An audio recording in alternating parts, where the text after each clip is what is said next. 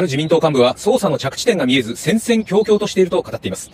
えー、捜索を受けた安倍派と二階派の事務所は、あちらの奥の方、えー、党本部とは目と鼻の先にあり、間近に迫る捜査の手に、自民党はかつてない緊張感に包まれています。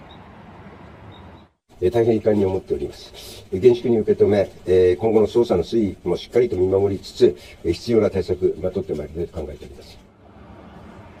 自民党では当初裏金問題について党の顧問弁護士が一人で担当していましたが対応が後手に回り遅れたとの反省から先月半ばから検察 OB の辞め兼弁護士と次々に契約し体制を拡充しました。